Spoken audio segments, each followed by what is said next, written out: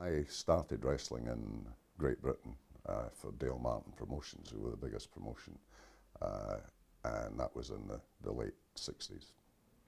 And then I wanted to check out New Zealand, and I'd come from London to Chicago and then came down here uh, to wrestle John De Silva for the Commonwealth title, which I did and fortunately took off him.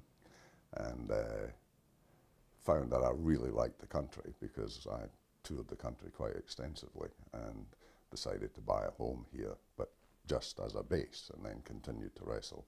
And uh, I wrestled for American promoter James E. Barnett, and he ran Australia.